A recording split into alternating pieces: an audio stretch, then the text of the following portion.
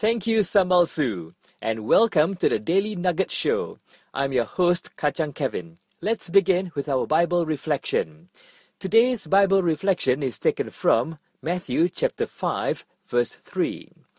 Blessed are the poor in spirit, for theirs is the kingdom of heaven. This is the first of the Beatitudes from Jesus' Sermon on the Mount. For our reflection, we will use a sermon by Pope Saint Leo the Great, who said, There is no doubt that the poor attain more easily than the rich the gift of humility. For the poor became very familiar with meekness, and in contrast, the rich became habituated easily to arrogance. However, St. Leo recognizes that there are rich people who use their riches in works of charity. He says, The gift of humility is given, then, to men of every kind and condition, provided they are the same in their desire to help, even those who, by their fortunes, are not equal.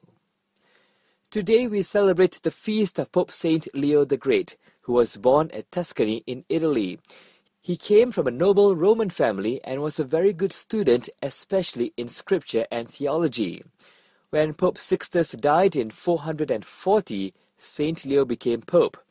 Here are a few other interesting facts about St. Leo from an article titled Pope St. Leo the Great and the Persuader by Nick Rabipo at www.catholiccompany.com.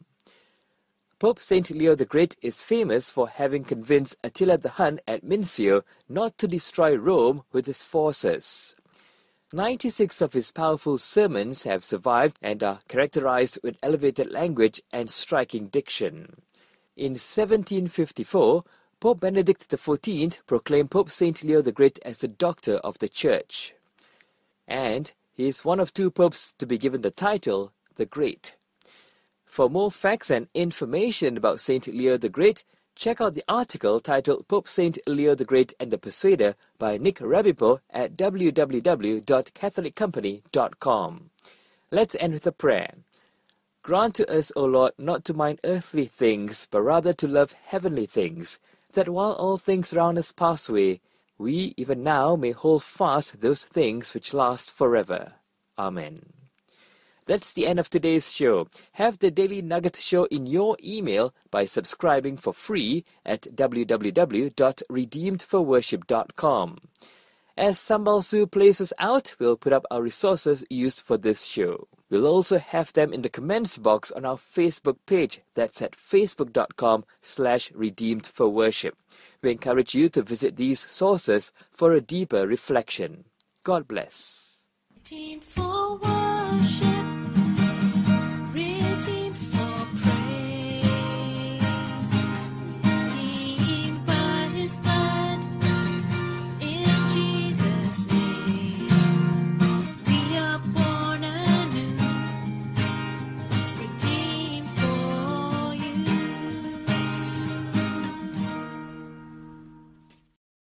Created using Powtoon.